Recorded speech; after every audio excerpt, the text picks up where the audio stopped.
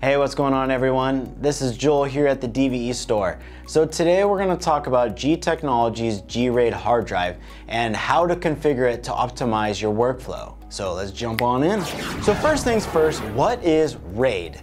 Well, it's not the stuff that kills bugs, I'll tell you that right now. RAID stands for Redundancy Array Individual Disk. It's the building blocks of redundancy in data storage drives. So let's dive in and I'll show you what all the different RAID options are.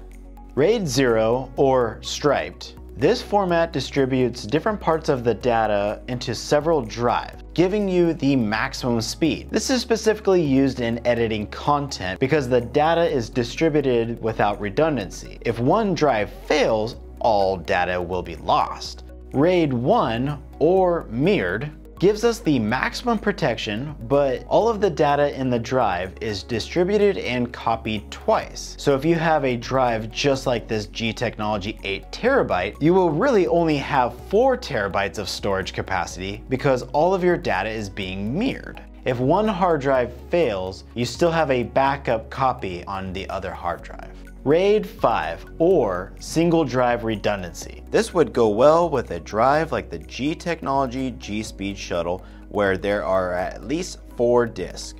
If one fails, then three of the four disks will be fine. RAID 6 or two drive redundancy. This particular setup requires at least four disks. In this scenario, up to two drives can fail, leaving the remaining drive safe. You also can combine some of these RAID settings to be able to stripe and mirror your data to get the ultimate performance. But for now, we're just gonna stick with the simple, the RAID 0, 1, 5, and 6. All right, next I'm gonna show you how to configure your G-RAID hard drive. But before we start, you wanna make sure that you have no important information on there because this could purge all of your data and it could be lost forever. Once we have our drive that we're working with and all other drives have been disconnected, what we'll want to do is go to G Technology's website and I'll put the link down below for how to get here for you. What you'll do is go to support, then we'll go to G Technology. It'll ask for which product are we working with. We're gonna be working with the G-RAID family and then we're gonna wanna select our drive. So this one specifically, we're working with the G-RAID with Thunderbolt 3. Now we're gonna go to downloads. You'll see your model number here for the interface. Then what we're gonna do is since we're working with a Mac, we're gonna do the software for Mac. It's gonna automatically download to our computer. Then we'll go ahead and click on the application. Then once we have the application open, it's gonna automatically just detect your hard drive. We're working with the G-RAID with Thunderbolt 3. Again, it'll come out of the box, formatted for Mac and for RAID 0. So we're gonna wanna make this RAID 1 because we wanna have this the ultimate backup protection. We'll click on configure. There's where the RAID 0, then we have protected RAID 1, which is gonna be that mirroring of both drives are gonna be the same. Then we also have individual disk JBOD. We're not gonna worry about that since it's not RAID related, so we're gonna go ahead and proceed with protected RAID 1 and configure. We'll hit continue. We'll say okay. Now we'll go ahead and open up disk utility. There we go, initialize. Here's our hard drive off to the side. What we'll wanna do is go up to erase. So then here's the section. We'll go ahead and label our drive. Under format, we're gonna have a list of options depending on which operating system you're working off of. I'm gonna go with Mac OS Extended Journal just because I'm working on High Sierra still. For other operating systems, you may need to go with the APFS. Another option you could do is gonna be EXFAT. The benefit with that is that this drive could be seen on a Mac and Windows computer. And then we'll go ahead and hit erase. And now it's already been formatted and now we have our four terabyte hard drive. So just to prove that this works, and if you're like me and very worried and just, you know, wanna have that extra reassurance, check this out. I've got some footage here. This was a drone shot of a hiker up on top of a mountain, and I wanna make sure that this file is actually on both hard drives.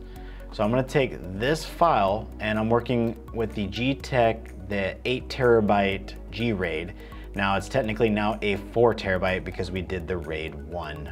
So now I have my mountain shot on the hard drive and I'm gonna go ahead and eject the hard drive.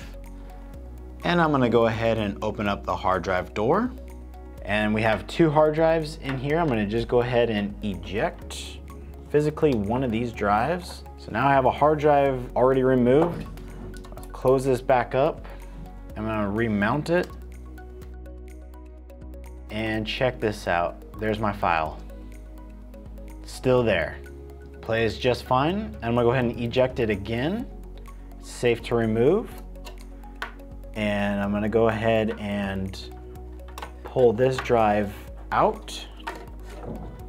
So now we have this drive out and I'm gonna set that to the side. This is the original drive. I'm gonna install this back in.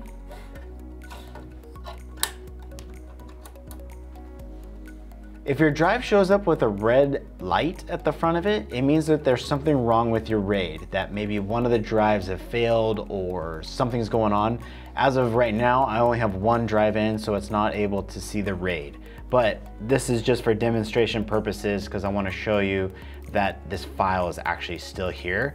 Now this is drive number two, and there it is, mirrored copy, my exact same file, just to prove that now both files are on each drive. Like most G Technology Thunderbolt drives, you can easily daisy chain up to six drives via the Thunderbolt connection. I will put the link down below for this drive if you want to get this one for yourself.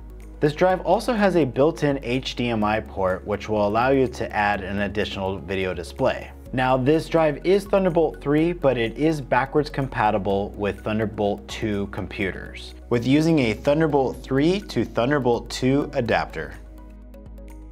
There is also a USB-C port available, and it is backwards compatible with USB 3 or Thunderbolt 3 with the included cable.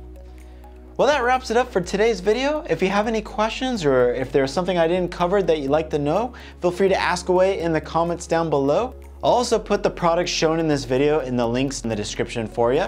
And be sure to like, subscribe, and follow. Thank you.